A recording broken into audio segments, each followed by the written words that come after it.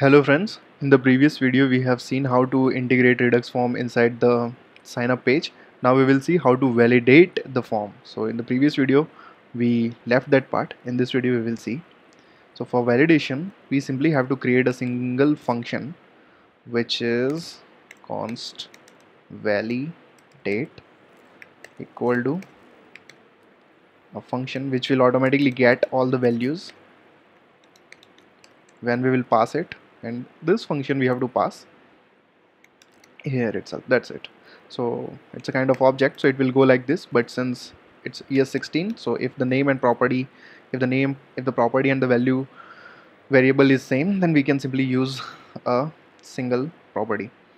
And then we have to create a object which is uh, errors. It will be an object which is empty and simply we have to return it. R-e-t-q-r and return errors. Yeah that's it. So this is the basic structure of a validation function. And now we simply have to check the values. If values dot name which is this. So if values dot name is not there then errors dot name equal to name is r e q u i r a d required. Huh yeah. So before submitting we simply let's check if this part is working. Fine. So how to check? So here is the text input. Here we can create a um, text field text. Text text. Let it be like this. Then so the error should not come until it is test. Oh, okay let's put it here simply. And check. So I think something is there. But we can't able to read. Okay. Yeah so as you can see name is required when there is no name right? So we can do we'll load this file. Uh, load the app actually. What the fuck is happening with this? Uh, the data is not going anywhere. So there is some problem with it. While refresh let's do the hard refresh sorry. Reload. The data should go away but the data is not going anywhere. It is still there. The field should be empty. Okay so let's find the solution for this. Redux form reset on refresh react native.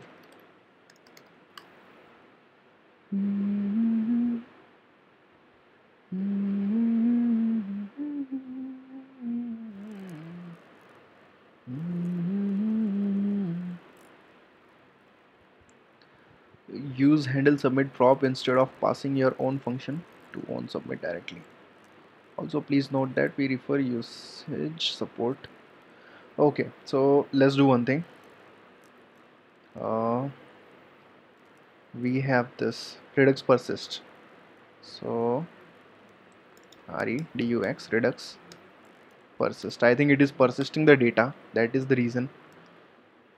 So we'll go here.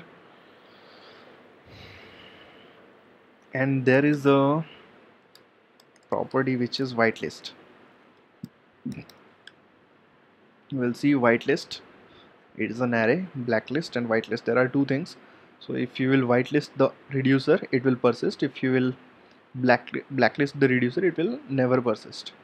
So for now the whitelist will be blank. So we don't want to persist anything. But still the data is persisting. Let's do one thing let's rebuild the app. But if we'll rebuild then also data will persist. So first we will uninstall and then we will check. So all the data has been gone. Now rebuilding the application hmm. Hmm.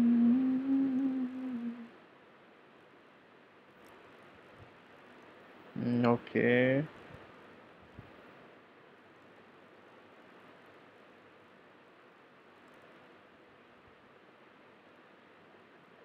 so yeah so when we were doing the validation it was working.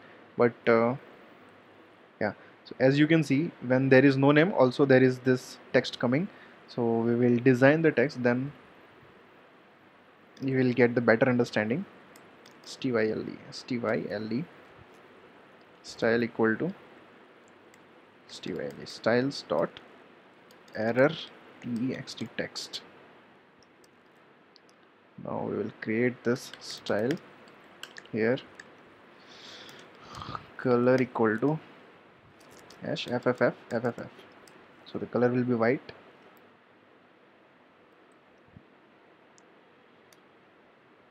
Enable live reload color is white. Font size 16 instead of this. Font size let it 12 name is required okay fine. Then PA padding horizontal. How much? 16 what do you say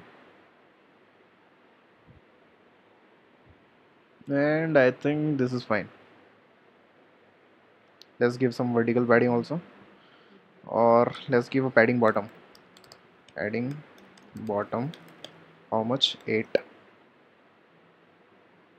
yeah. That's what we wanted as of now. Uh, font size 12 is too small. Make it 14 yeah. So this is fine. But as you can see it is taking this space this space and also it is visible once we have not done anything. So there is this touched also. When you will touch it then only the data will print. If touched then this. Or you can see this. So now we will see. Mm, yeah. Now I have touched it but I'll remove it to here. And I'll try to submit it. Yeah. So then name is required. That's what we wanted. It came for everything. It came for everything. Okay. Okay so I touched this one also. That is why it came for everything. And uh, then we have to do I think this this is fine. So let's do once more.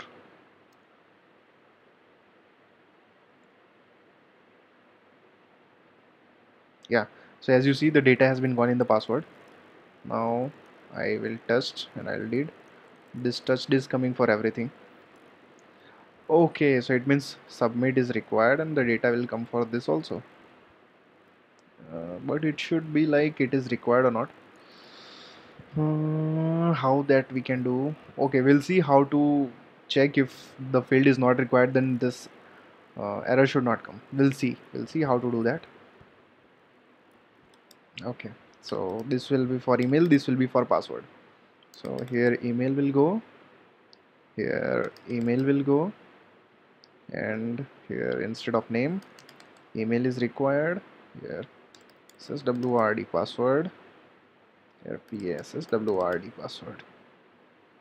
W o r d. Wrd password. Actually what happened is like we have uh, used this text input inside this one. So once this is valid means once we are doing the sign up this touch is getting true and it is rendering this text. So since we have done for only the name. We did only for the name. That is why this name is here. And that is why it is not here and it is not here. So now since we have done for everything if I'll do this. Okay so application has not been refreshed. Man. Yeah so all the data has been gone. Now we will check if the hack we used for this is fine or not. So still it is touched but anyhow there should be no error. Uh, where to check where to check where to check here. Okay so it is not running. Debug JS remotely.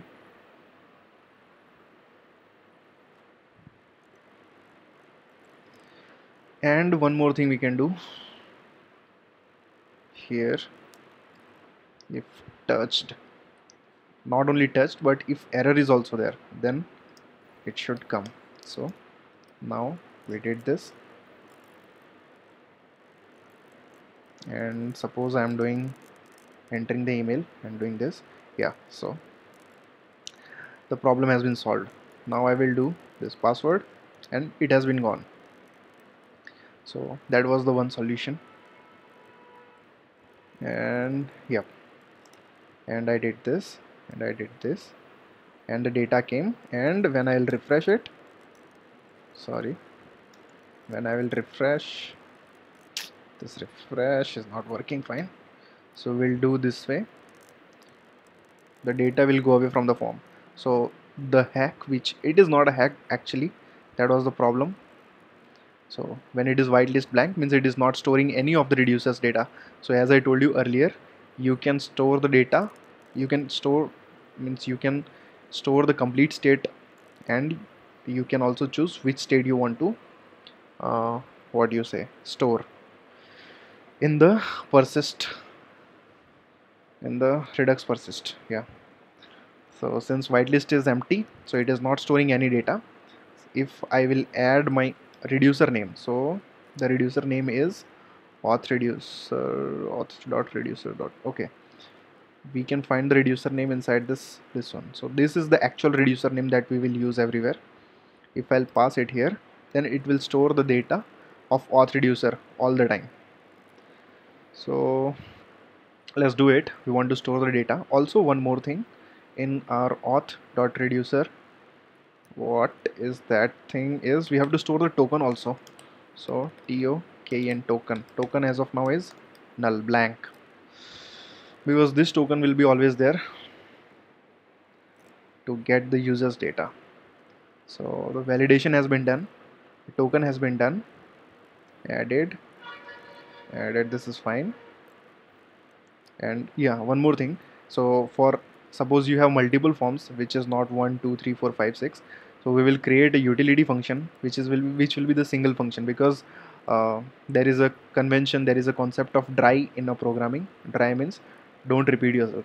So we'll create that function which will be the single function and we will pass just the parameter of values in that function and it will validate the form. Means if you have multiple forms it will validate it accordingly. We'll use the loops like for loop or something. For object also there is a loop which is for in. So that will take care of it. That will use. So for now since we have two forms or uh, let's let's keep it like this as of now then the second step what I what I wanted to do is validation has been done. Okay. Okay so let's check. Sign up. Validation is not there and there is no object coming here which is fine. Uh, and uh, yeah. So I told you we, we have to create a service for that. We'll create a file folder cr v s e r v i c service slash api js so there might be a file inside this. Okay so this is also a folder. I thought it will create a file but it created a folder. So we'll remove that folder from here and we'll create a file which is api.js it will be a function. So first we'll do const base base base url which is something something. Something like it will be like uh, base url will be like http colon slash slash www dot web API some API API sour com. And then this is for dummy. This is not actual actual API endpoint. So we'll create a function const c-o-n-s-t const but before const we have to use export export const. API is equal to a function. This function will take multiple things. First it will take the URL then method method then body then HEADER as headers since method will make it null for now because we don't have anything and body headers will make it an empty object. And we'll refresh the application it will not work. Then we have to check if const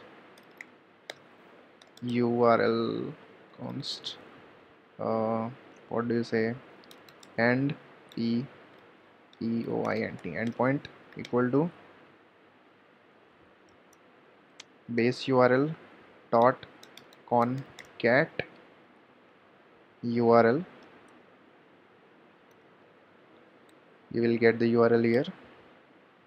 Const endpoint. Now const const const body which is uh, request body will give the name. Equal to if body is there if body is there then body then sorry json dot string s t r i n g i f y stringify. We'll put the body. Otherwise make it an empty object not a problem. Or null will be fine. Null. Yeah. Third thing is if if this method. If we'll create it. If method is equal equal equal to post post and method is equal equal equal to put put. So if we are sending a data or updating the data then body is required and not body. So if there is no body then what we have to do? Throw throw new error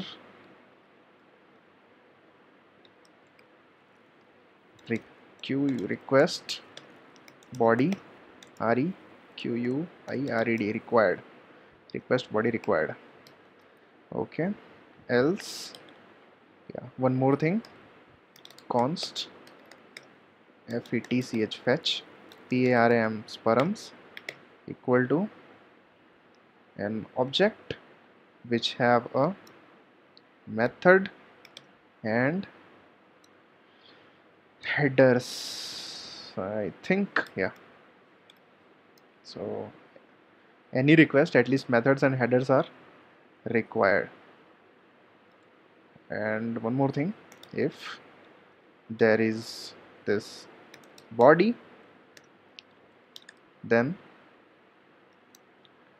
fetch params dot ga headers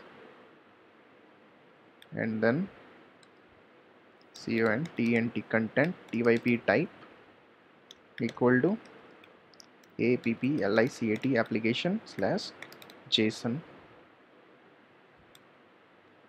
And I think uh, if there is body then we have to do this. Uh, we have to add a header if mm, I think this is correct. Anything else we have to do if there is a body? Um, let's let's do like this only. Then we will create a fetch promise. So const fet fetch. So misc fetch promise equal to and this function will be a async function async async function. So it will return a promise. So here we can use await await. No no no. Here await is not required. Uh, await is required somewhere else. I'll tell you where. Fetch.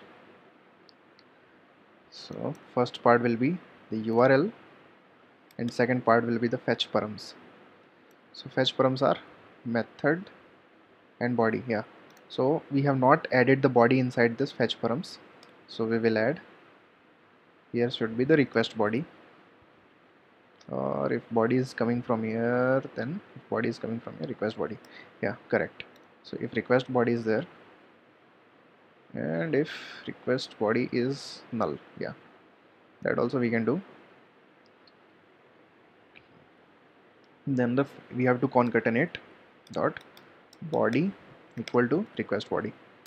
Now we have done. Uh, that's what I was forgetting. That's why uh, at that time I was confused.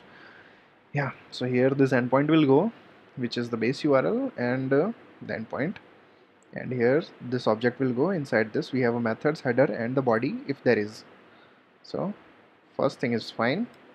Now we will create a timeout promise. Timeout p r o m i s e.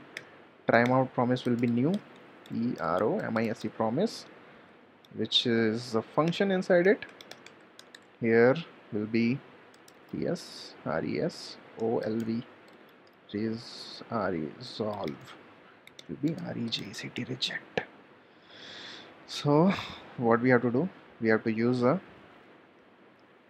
set t time out function inside this. Simply we have to do re jct reject that's it. And here 10 seconds. Uh, this is 1 second this is 10 seconds. So I think we are done. And then we have to do const const const. So this we have done timeout promise. If the if we do not get the response in 10 seconds then it should cancel the it should reject the promise. So that the logic is.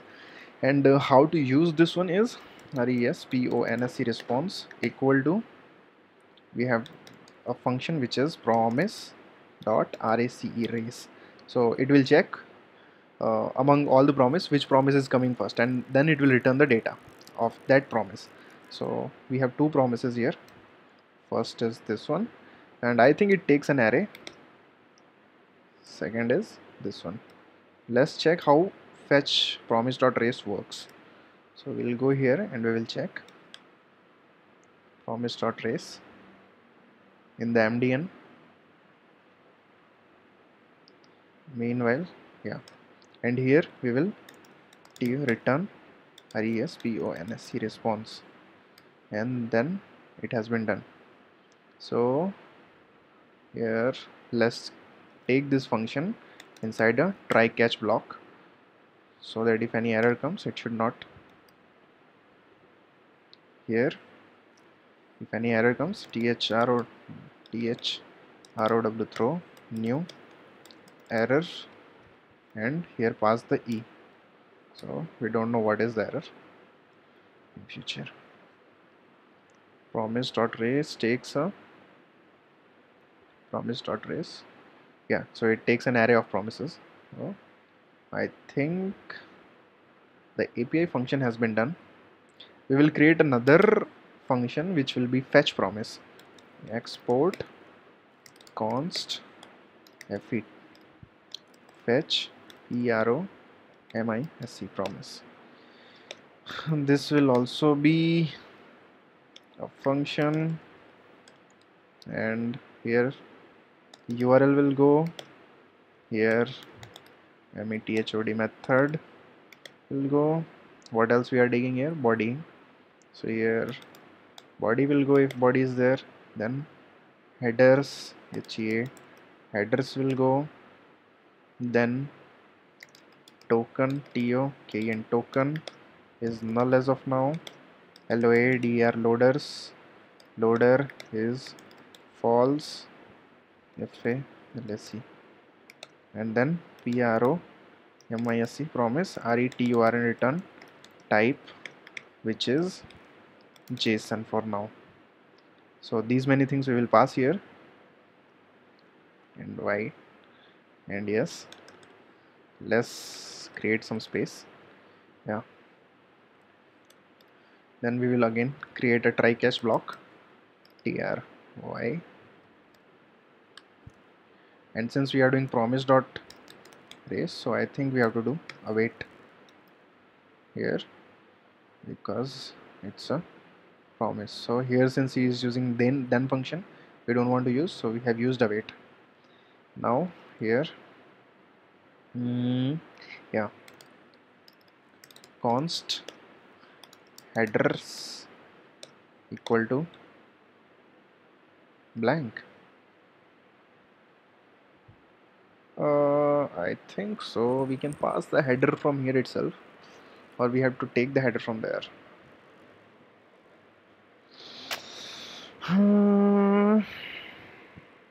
We can pass the header from here. We don't want to take from anywhere else because in the header mostly we will pass the token nothing else. So let's create a const header which is empty.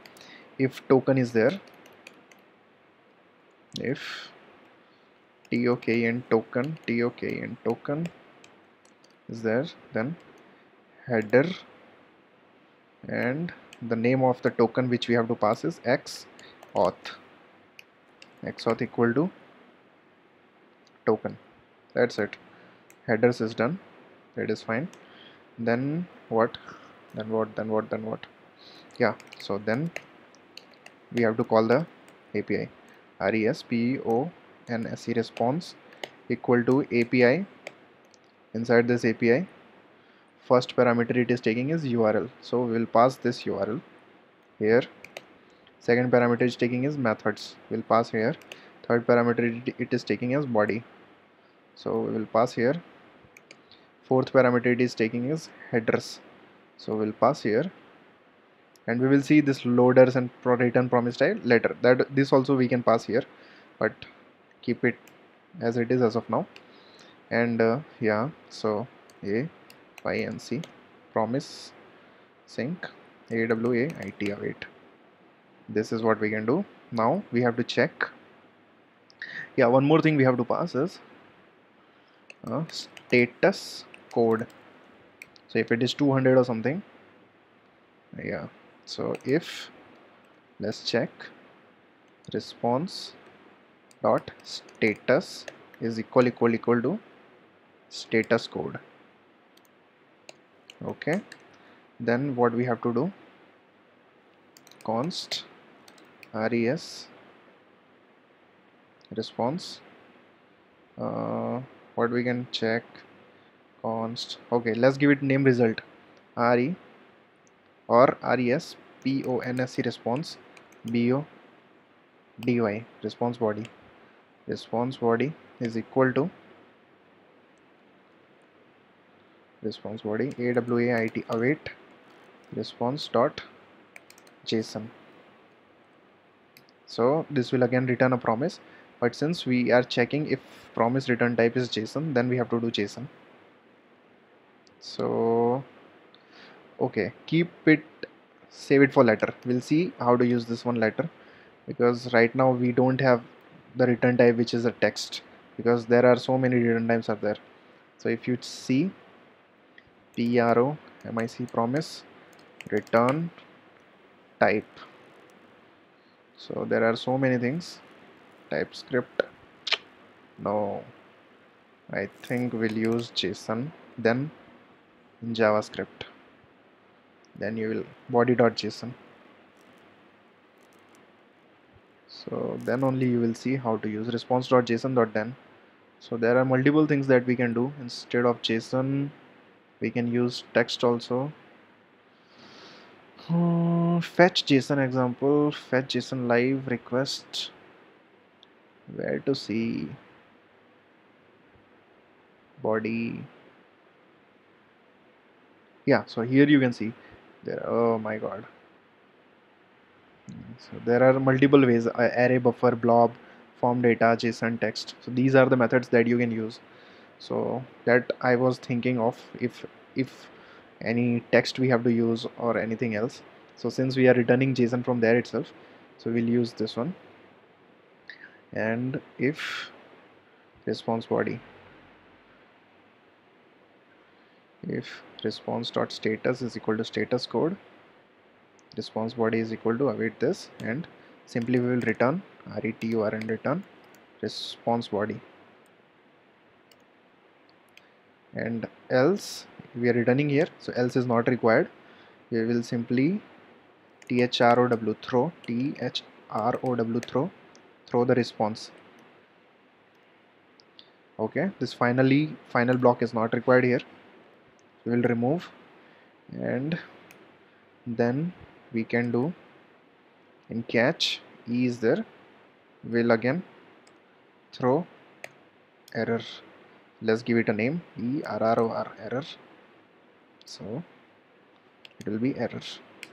Okay. Okay. So this is a this is a very long video and we created a bunch of functions means couple of functions actually. Now we will see how to use this fetch promise. And uh, let's give a fetch API name.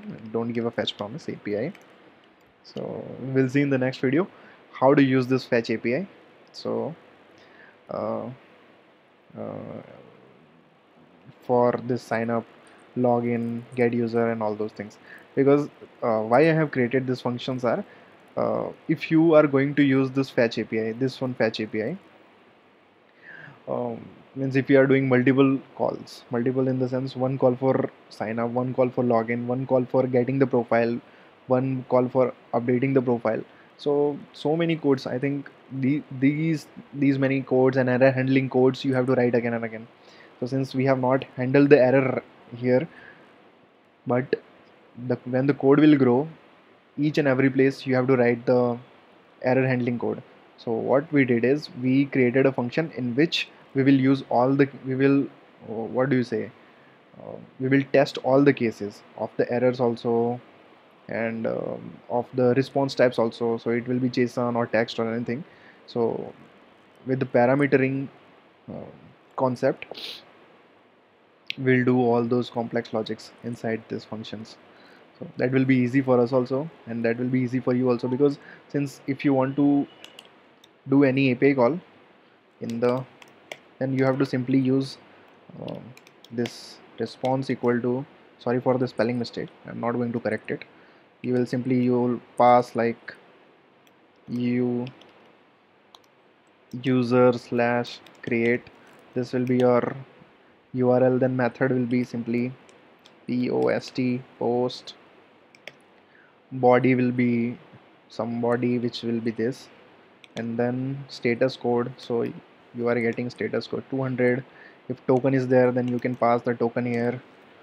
And loader if you want uh, if you want a loader for this API call uh, means when you are doing the API call then uh, until the response comes the loader should uh, appear on the screen. Then you can pass it as tru true. So and there is nothing else. So we simply use and here the simply json object will come. Then you can log you can uh, dispatch anywhere directly. Dispatch or something can, you can use here. So you need not to do this chaining again because simply this returns a promise. So we'll do the wait but yeah so this will reduce this step one more step which we are doing here await response type and all. And error handling we can manage here as I told you earlier. So for this video I think I'm done. I'm tired. Now we will see how to use this fetch API uh, for the sign up login or anything else in the next videos. Till then bye bye take care and don't forget to subscribe like comment share give me the feedbacks let me know what else I can do let me know what else do you want to know. Bye bye